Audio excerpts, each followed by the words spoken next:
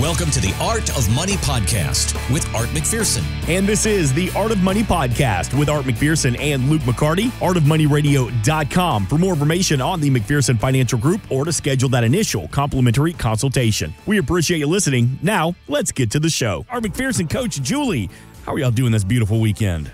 We're doing well. We just got done with Easter weekend. We had some family come in, which was nice. We have family on the west coast of Florida, and then Julie's brother is in the area, but she, he had some of his wife's family come in town. So we had a little bit of a group of us for Easter. So and you had a say good Easter? we just got done celebrating. I'm about a week removed from Easter. Like, did they just finally leave? Did you finally get up at the end of the week? No, they didn't like, have- they didn't Guys, stay you've with us. here They for just a came week and over." a half. It's time to No, go. they came over. They came over. Actually, yes, except for my niece and her husband, the ones on the West Coast. The others all do live around us. Gotcha. So All right. they weren't just visiting. And guess what Miss Coach Julie's taking up now? What? Pickleball. What am I taking up? Golf. Oh. So we went and hit balls for the first time this week. No. That's all. I'm. I'm. de- I'm not being. I, I'm jealous. I wish my. I wish Gretchen would just have any desire to even just ride in the cart with me, and she refuses to. Well, riding in the cart and driving the cart are totally different. Let her drive. Fine, if she would come with me, the, the very the what three times, and we've been together for what 13 years that she's come with me. The three times she just watches me play and she goes, "Did you mean to put it there?" Okay, so you're the one that doesn't want her with Yeah, I'm you. like, either you're going to play or you're going to sit in the cart and drink, but you're not going to heckle me. That's You mean funny. when it goes in the bushes? So, are you going to be able to hit it out of there? Okay, or do you need what do they call it? A drop? Do you need another? What's it? A mulligan? How does this work? Do you count that? Why don't you go back to the Aren't you up to like 12 by now? you have somewhere to be. You know what? Is double digits good? Is this like baseball? The higher the score, the better. Wha- so when I play, yes. so why why do you want her to play? Is it because then you can heckle her back, Damn or because straight. she? It's not as easy as it looks, is it, honey? How's her swing uh, art? Is uh, Julie starting to pick it up? Or I mean, you play. You're not new to the game, Julie. I just pick it up every 10 What? years Yeah, like the last time she had picked it up was when we went to Ireland. in 2014. Okay. And that was the first So time I ever years. saw her swing a club. And she did it at the Ireland, um, where they play the Ireland Championship Right. every year. In Killarney. Yeah. We played at Killarney and uh, she was hilarious, but she actually hit the ball pretty well. And then if she didn't hit it well, she goes, The course owes me. I'm taking this hole off. Course owes me. Yes. Wow, that is a Julie That's Mulligan the right way. there. Yeah, that's the way to not get No, she stressed just out. didn't even play the hole. She I didn't just play the hole. I didn't yeah. take a score on it. Yeah, she just said, "The course owes me. I'm taking this hole off." You took a mental health break while playing. I Yes. did. Yeah, she I did. did. don't let don't let people get you know built up behind us that now I'm stressed out because they're waiting for me. So let's just play along. Can just I move and- along. And, thank you for that, uh, Julie. Can I tell you this as someone who is learning to play golf as you are, and let's say you go out with your friends and everyone's learning together. We got behind a group of females that played. This was about a month, month and a half ago. They didn't like the game. They were just there as a social event, taking four or five swings on each ball. They'd Oh, swing no. it, they'd top it about five yards. oh, that was silly. Let's take a selfie. Oh, oh no. Okay, that's going to ruin everybody's golf day. we that's had for to sure. call the ranger three times, and they were just. Why didn't you just go through and say, "Hey, can we go through?" We were having, they were having the time of their life. Well, well, I'll tell you, what, they were cute, so it was fun to watch. But still, Ah. the truth, the point truth is- comes out. that four-hour round took at least eight hours. Oh my lord! Yikes. So uh, this weekend, about a week removed from the Masters, did you get a chance to watch all of it, or are you just? We, all of it through all the rain, through the trees falling yeah, I know, down. right? Whoa, How that was wild. But as we're watching the little bit that they did show and the chainsaws were out there, I said to Art, I go, you know, come tomorrow, you're never even going to know that any trees were there. yeah, I'm like, everything will be gone. It'll be perfect. sheer perfection. I am amazed they didn't mulch those trees, put them in baggies, put an Augusta National sticker on them, and sell them for two hundred bucks a bag in the Right? clubhouse. because they don't need to do that, Mark. Did you see that meme that they would make over a million dollars an hour in the clubhouse? during Masters Wow. weekend. I did not see that. Oh, you But mean by can- all just the uh, revenue from? The gift shop. Yeah, I would believe it because, because I the only place you can year, buy is at the gift shop. Gift shop. I remember last year we sat we stood in line for how long and it was like a cattle chute like we were at Disney waiting to go on the ride. It's the same thing like a Disney line. They Mm-hmm. Augusta National made over seventy million dollars last it. weekend. They said that one patron, you're not allowed to call them fans, you have to call them patrons. One patron spent over thirty-eight thousand dollars in one purchase on you know site. why? That's because everybody says, "Oh, you're going? Get me this, get me that, get me that." And so he probably bought for his whole neighborhood. That's true. Well, thirty-eight thousand dollars. He probably bought a very rare putter or something memorabilia. Or a bag of tree that fell, the mulch from the tree. or shirts for the whole neighborhood. Can you buy that? Are there like rare putters for sale? I mean, I imagine I've never been inside the. Mm-hmm. Yeah, gift shop. no, there are. Like, what was the most expensive item that you saw? I didn't let him look at five that stuff. grand, about five thousand dollars. It was like it was a rare putter, so it was like a a putter used by like Ben Hogan or something like that. Love Julie's like, I know Art, I know his limitations. He's gonna walk out and be like, This is an Arnold Palmer three iron. Listen, I'm honey, like, it was only twenty two thousand dollars. Nope. But he used this on number six to get a par. Does not matter. I know when my mom and I were looking in the women's section, I'm like, wait, where's Art? And I had to walk over, like, link arms with him, and it is packed in there. Mm-hmm. Link arms with him, and I'm like, let's go. You're staying with me. It's it's like a golfer's Toys R Us. That is true. Yeah. Yes. That is true. This weekend, are you playing golf at all this weekend, Julie, Art? no, we're going to a wedding. Okay. Well, you know what? Actually, that's not a bad thing. This weekend is traditionally the busiest weekend for golf courses Because across it's the after country. because it's after watching the Masters. Amen. Yep. That's it. I had a buddy of mine that ran a course up here in Atlanta, and he said that the, just all right, gear up. It's our Christmas. He goes, Masters weekend is a little busy, but the weekend everybody else thinks they're the next Tiger, they're the next Phil, they're the next Jon Rahm. The next Jon Rahm. Yep, they all come out in their three hundred dollar Nike. I mean, fit to the T, looking sharp. They spend a thousand dollars on clubs and balls, and then they shank every single one of them. And, And then then after they hang it up. and then after seventeen, they never play again until next year. yep. So get ready if you've got a tee time this week and give yourself plenty of time. Jon Rahm, you know what he walked away with? Three point five ish. Three point two four million dollars. Not Nice. bad. My man what- Phil, though, look, he had the best round of the day. You didn't see. One point nine million. Because They, they, never didn't show showed it. him. Yep. Oh. I was kind of rooting for Brooks or Phil just for the drama. Just for so Of was the Art. LIV. So was Art. Oh yeah, He wanted them to be in the top five, all of them. yeah, and is it me or did Phil look like really Awful. skinny? yeah. He looked really skinny. He looks terrible. Is it stress skinny or maybe the stress of LIV tournament where I don't have to play every single weekend now? Like, did he just lose like so travel what, what? So you're saying it's because he's at home more? I, It yeah, could have been because his wife found out he had a forty million dollar gambling debt.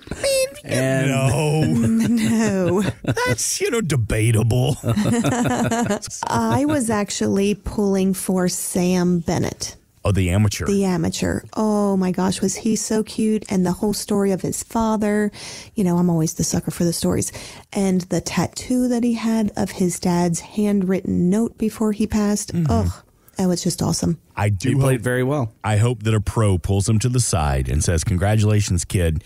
You know, you, you you're a conversation piece to a lot of golfers. You're a household name right now, but you got to speed it up." he was Right. him and He Patrick slow. Cantlay, so slow, so slow. Do you see that one picture of Jon Rahm and Brooks Koepka, and they're waiting, Waiting. on? They were Oh, waiting. Yes. God, like. What happens to them too? now, in in Sam's defense, if I'm playing Augusta, you better believe I'm taking my sweet butt time. Right? Ah. As an amateur. Yep. All right, let me ask a question. I saw this online. I posted all my golfing buddy friends. You get one option to play Augusta National once, just once, and never again, or you get Sunday badges for life. Sunday badges for life because I would work onto the course somehow. Because Sunday badges for life is you're always there. Mm-hmm. Then you get to know everybody. And then you can meet somebody who's a member. And then you can you can make it happen. I like how Art is pretty confident in his like schmoozing game. Well, that's how he rolls. Have you seen the pictures of all the celebrities? True. True. Yes. What about you, Julie? I know you're just getting involved in the game, but the history, the pageantry of playing Augusta National. I or- don't want to play that course. No way. Why? Because are you kidding? I'd be that one that's doing worm burners everywhere. You know I what? would never even make it up the hill or Doesn't- no. You'd be doing worm burners at Augusta National. They would kick me off after the first hole. At her beginning level is what she means. Then That's what I you mean. would get kicked off the first hole at Augusta National. They would never let me back in anywhere. that you got kicked out of Augusta National.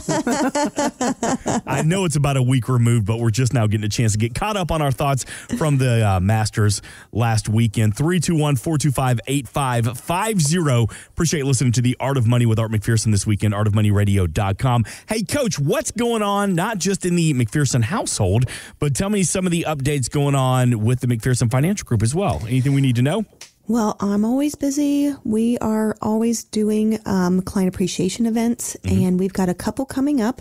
So busy doing that, getting emails sent out, calling clients to see if they're coming and going to join us. So that's always fun. Nice. Now, how far ahead do y'all plan? Because y'all do some pretty cool events. I know y'all have done some charity golf tournaments. Y'all have done Whole some year. sporting events. Whole year ahead. We actually No, have we a do. we actually do a meeting in January and pull out the calendar and we say, okay, we want to do this. And it's like, well, we always have our standing shred event in April with the uh, Earth Day. Very good. And then we have usually do two golfing events. We want to do it in the cool of the fall and the coolness of the winter time. And then we have a, then we always do a movie event in summer because it's too hot to be outside. And Uh-huh. then we kind of just fill it in. and uh, great shred event coming up this month. Tell me, uh, tell me a little bit more about it. It is on Friday, the 21st, and we have a food truck and for lunch, and we have a shred truck that is on site. And as our clients pull up, they actually help you take everything out of your vehicle and they shred it right away. And then they park, and then they, our clients stay and have lunch, and we just mingle and have a great time. Nice. And we have tents and tables, Tents and tables and chairs. that way it's not w too warm. You know, it's just nice weather. We usually have a nice breeze. We I'll usually, have bring a birthday cake too. yeah, and I'll usually bring one of our cars up. Right now, it'll probably be Julie's truck, unless it's still leaking transmission fluid, which I was trying to work on on the weekend. Easter, yes. Yeah, we've got a, a cracked uh, transmission line. And about time I, I get the pressure up, Yeah. just pours out of there. Spills it all out. And she has a problem on her radiator fan is not working. I'm not exactly sure why. Mm. So So that won't be on site. it starts getting warm. Hey, I noticed you kind of slid that in there. A birthday cake. What for?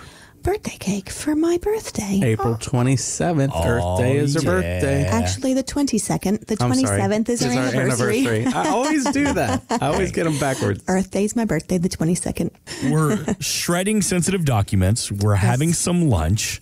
Uh, there may or may not be a classic car on site.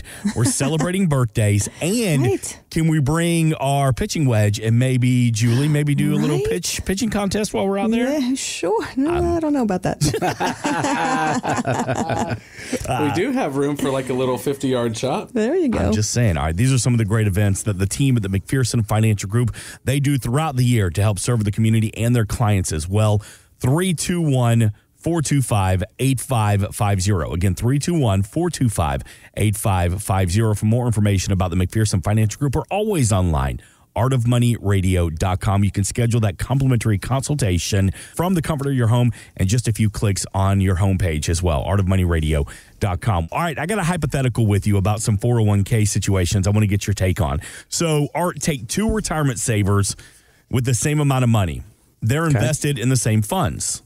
Okay. They've been invested for the same time frame in their 401ks. Okay. Now, you'd think that they're going to have the same results, but why would one outperform the other by almost 10%? Why is Fees. that? Fees. Uh, smaller companies, and we have a lot of them. So, small business, and that's typically categorized as a company that has 100 or less employees. When they have their defined benefit plans, and a lot of pro businesses that don't have a 401k unless they get kind of the, to around the 10 employee count or more, are paying more in fees because they're small. So it costs more for a Fidelity or for a Schwab to administer it. So they charge them more. So there's an expense ratio. And usually, if you look at, there's a lot of math out there and there's a lot of history out there, but the average small employer pays around 2.5% in fees annually, where a big corporation like a Harris in our area or Northrop Grumman, uh, they're more around the 1% a year in fee structure.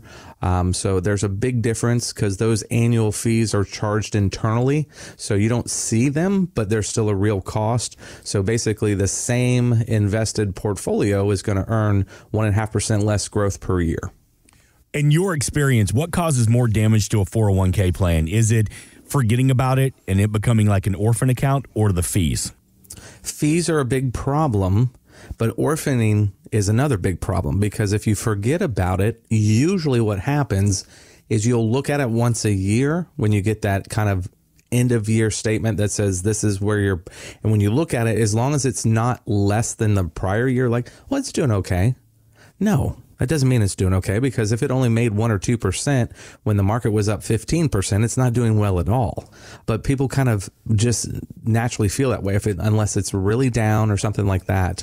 And they will just kind of ignore it and it just sits there. They don't have any idea what kind of fees they're paying because the old 401k platform actually gets more expensive when you leave the employer because now some of those internal fees the employer paid for you when you're no longer an employee you're now getting on your quarterly statement. If you look at it, there's now a quarterly fee being charged because you're no longer an employee. So they actually go up in cost. So typically, some of those abandoned 401k accounts, you're better to either combine them into your new 401k or roll them to an IRA so you can lower some of those fees. And how many people don't even realize that they're not with that employer anymore and like they add that fee on there? Yeah. I mean, most people don't have any idea what they're paying in fees. Yep. They just don't know. So it's hard to find it. Um, there's a little bit out there. My savvy investors, so the people that are paying attention, kind of monitoring their own investments, or really do a good job, is only about 5% of the people that walk in our door. So out of 100 people that come in to see us at McPherson Financial Group, five are actually adequate on that mm-hmm. and kind of have a really good handle on how to trade, how to watch, how to manage. But the rest of them, they don't even know typically. It's the importance of taking advantage of that complimentary consultation, which includes that 401k x ray. Art McPherson and the team at the McPherson Finance Group want to sit down with you, take a deep dive into your 401k plan to see what adjustments need to be made. That initial consultation, no cost, no obligation to you this weekend. 321 425 8550. Over the past week and a half, Art McPherson, baseball is back, and it feels like all is right in the world once again. Even for you? I get to be a fan. so if you're new to the art of money and full transparency, I'm at the mothership here just north of Atlanta in Kennesaw, Georgia, while Art is down on the Space Coast. That's where we do the show every weekend. And for the past 16 seasons, I have been with the Atlanta Braves as their in-game host. I just hung it up. I just retired at the end of the 2022 season. And Art, I finally got to go to my first home baseball game as a fan. The first time I got to have a pregame beer since 2006 without having to run across the whole field, without being on a clock or have a schedule. I got to be a fan and it was really weird. I bet it was for you. I mean, for almost 20 years being in that stadium and being the voice of the stadium and seeing your face all over this big screen and you're down on the field with players and then back up in the box and back down in the field. You were running in and out of the rows. Yep. When I went to see you up there last year with Julie, it was fun watching you. I mean, you were all over that stadium. I was shocked at how far you ran. I was like, geez. You'd think you I'd were... be in better shape, but I'm not.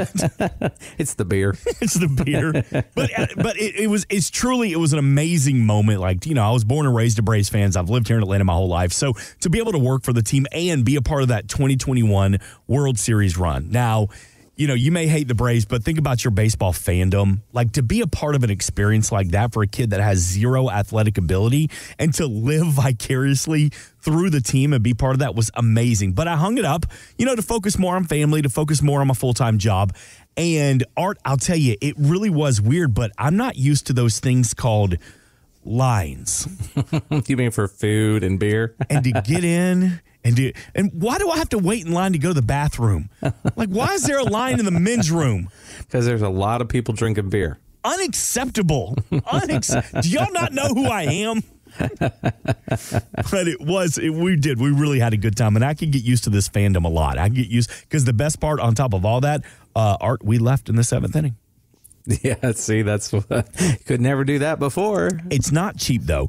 The average ticket price this year around 30 bucks. I think it's more expensive than that. But once you go to the game, or the average fan is going to spend, you know, another 50, 100 bucks depending on if you go to the clubhouse store, depends on how many cold ones you get. Parking, merchandise, you know, you want to get koozie to go with you. So if you only hit 5 or so games a season, I mean that's 500 bucks just Yeah, for, for entertainment entertainment expenses. So let me ask you this, Art McPherson here. So being there in person is just awesome, but is it a better investment to take that entertainment money and invest it into something, or do you subscribe to the theory of go live your life? Uh, both. So, yes, it's a better investment, obviously, taking that amount of money and investing it because it's going to grow over time. You're going to see that money grow and compound, right? So, over a 20 or 30 year period, it could become tens of thousands of dollars. Uh, but the therapy of being able to get out there with your daughter, with your wife, with your buddies, having fun, a little bit of a download time so you can hit it hard the next day or the next few days at work um, is kind of priceless. Remember those old Visa commercials Yeah. that would do that where, you know, you're playing a round of golf, it showed the cost, you know, you're, you have your son with you, um, and then it says, you know, all the little costs and fees of everything, but then it, you hit a hole in one and he's there to witness it, or he hits a hole in one and you're there to witness it. And they Round of golf, $100. Lunch at the clubhouse, $50. Round Right. of golf with your son, priceless. Yeah, exactly. So those kind of things are what we're talking about. So you you have an opportunity to be there with your daughter. Now, if you're doing that and then you're going to a concert every week and then you're going to this every week, so you're spending let's say four or five thousand dollars a month in discretionary spending. Could you take 500 of that and apply it to long-term savings? Absolutely.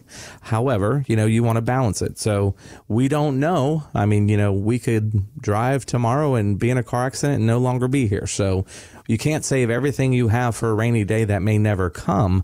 However, when we're talking about retirement planning and we're talking about income planning, we're going to save enough money aside to be able to create that retirement nest egg. And what we're really designing is you need to be able to retire with the same income while working. So if Mark is used to $15,000 a month, I need to have enough stashed away with that big pension you're going to get from the Braves. We got to make sure you have other money besides that. And all that money needs to be stashed away so you can continue that same retirement income. Wait, tell me more about this pension that I'm not getting. Oh, you don't have one. Okay. Sorry about that. Wait a minute. Why do you You're just like a regular American that just has Social Security. You want you want to hear a secret? I was actually uh, for the Braves. I was a part time hourly employee for 16 years. I swiped in and swiped out, just like the the ushers and the security and the hot dog throwers. I so I loved it. Blue collar worker all the way. Never did it for the money. Did it for those experiences. But I see what you're saying there. Like you know, in my case, I'm not going to go to every game and spend two three hundred dollars. Like you got to go to some of these games in budgets. So it's the same way with the experiences of go live your life, but also do it on a budget. Right. Well, just make sure you have one. There's a lot of people that have a lot of discretionary money and they don't really budget that. So they'll just kind of do what they want, which is fine, but they're not saving much either. They're only putting 6% in the 401k because that's what their employer matches. Mm. When really they should be doing 10, 12, 15% or even more because they can afford to do it. And some of the people, when they're making really good income and you get up there where you're both making 150,000 or more a year, you can actually maximize that 401k. And this year, if you're over 50, and I think we both are, Mark, you can put the catch up provision applied and you can actually put $30,000 now this year for you and also for your wife into a 401k. That's $60,000 a year you can put aside and have that non taxable, or you can have half of it taxable and go to a Roth and the other as an IRA. But there's just all kinds of neat strategies where you can actually save a lot of tax revenue on that if you need to because you have enough income to be able to do it. So there's lots of neat things to do with retirement savings. So it's fun to watch that money grow. It's fun to watch a compound, but it's also fun to be able to go to the ball game and it's be able to fun to have a good time. Hey, all right, be gentle, okay? I, I grunt and groan on the golf course like I'm 50, but I'm not there yet, all right? Oh, okay. I still Well, make a lot of noise just standing up out of my chair. That's but I'm right. still You're in my- mid-40s. You're in- mid-40s. I know I act like I'm 65 sometimes. the way I just, I get up in the morning and everything pops. I'll tell you, 321 425 8550, artofmoneyradio.com. Art, you know, we're talking about having a budget when it comes to expenses as well. And my father in law, he used to always have a phrase. We'd go play golf and he'd buy a dozen Titleists, which are always like 50 bucks. Or we'd go to an event and he'd buy a couple extra t shirts. And he'd always say, eh, it's just money. There'll always be more. And there's part of me that thinks that's a great way to live. But then there was part of me, every time I heard that, I would just cringe. Because you, as a financial advisor, Art McPherson, you hear somebody that just says, yeah, it's just money. There'll always be more. Does that make you cringe a little bit? No, it's just I think the perspective is money doesn't rule me kind of a thing. Mm-hmm. However, you have got to make sure that you're going to be fine. There's not a lot out there anymore that supports people for retirement. We don't have the pensions, just like you don't have a pension. Yeah. Or you work for a company for 16 years and you had no benefits, you know, no pension benefits or and things like that. So you've got to be able to put that money aside on your own. You've got to take the reins and you've got to put that aside. Instead of spending every dollar that comes in the door, you save some of it. And it's funny, it, you adjust to it. You know, it's not that hard to do living on 90% of what you make instead of 100% or living on 80% of what you make instead of 100%. Because mm-hmm. uh, once you adjust to it, you're fine. You know, you're just used to it. You know, that's, that's the money you're living on and you still have money that you're spending every month. You're just not spending every dollar for discretionary. You're spending some of that for savings.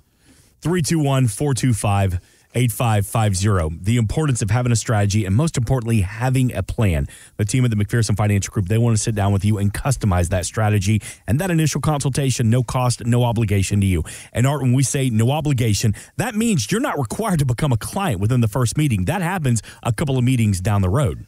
Absolutely. Our normal process is two or three meetings before anybody needs to make a decision because we want to make sure the fit's good for them and the fit's good for us. Obviously, we want to make sure that they're happy and our investment style, kind of our theory on investing for them, they feel like they're going to get value added out of that. I want them to know and appreciate all the different things we're going to be able to do for them. So sometimes somebody will come in and they're not quite ready, but they're back in a year or they're back in two years and then they're ready to go and we're really off and running.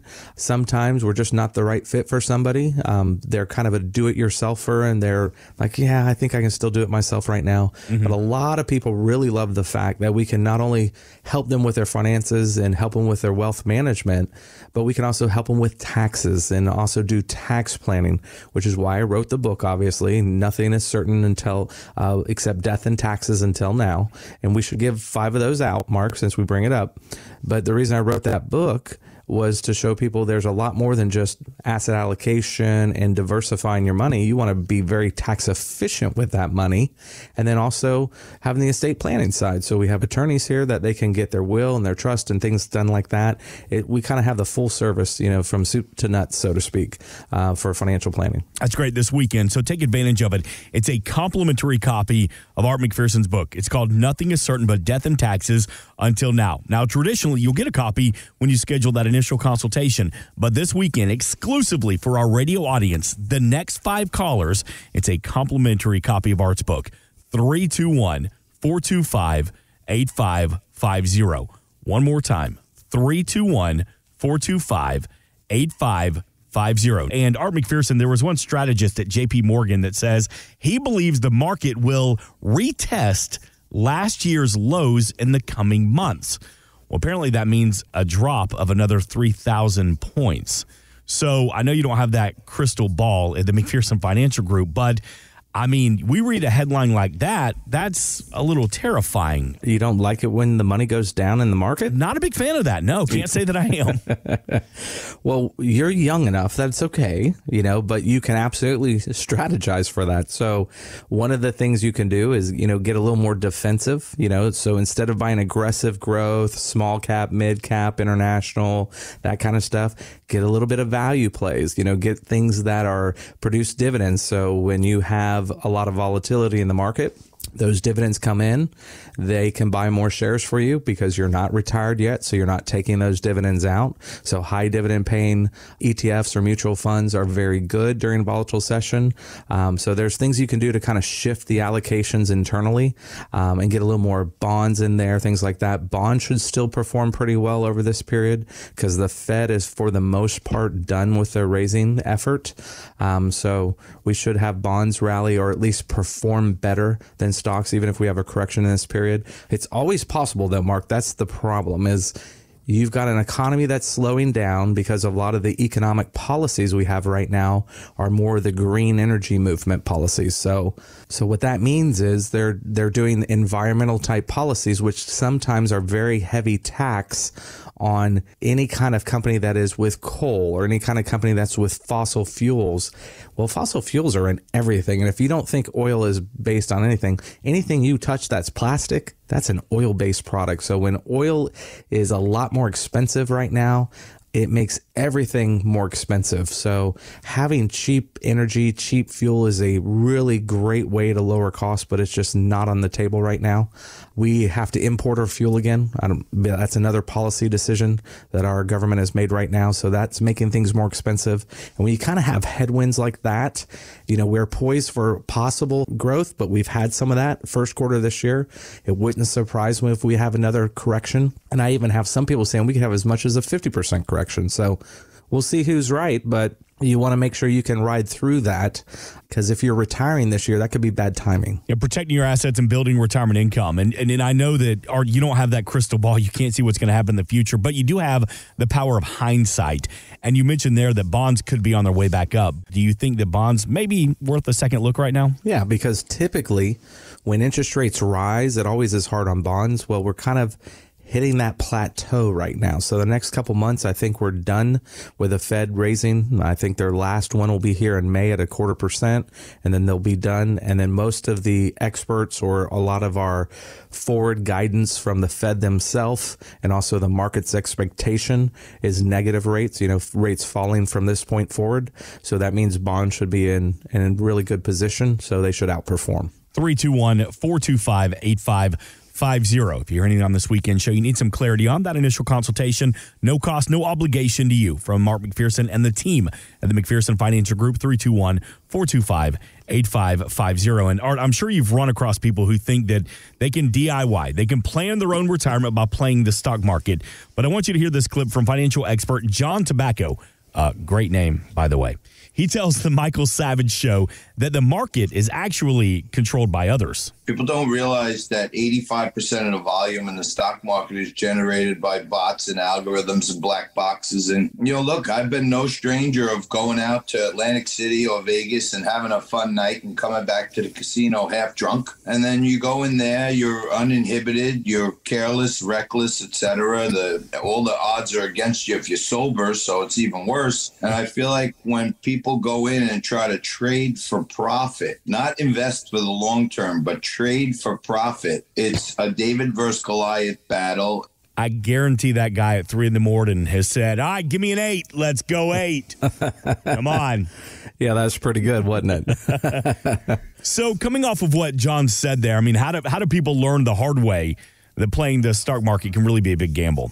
Well, I think what he's talking about there is Uh, there's a big difference between trying to trade to make money or letting you know you buy or allocate for the long run. And he's talking about you're trying to go in and out of stocks, you're trying to go in and out of mutual funds or ETFs to create profit, you know, annualize it. Very, very difficult to do um, especially for a small investor. Mm-hmm. And usually, what happens with the typical small investor is they get very emotional.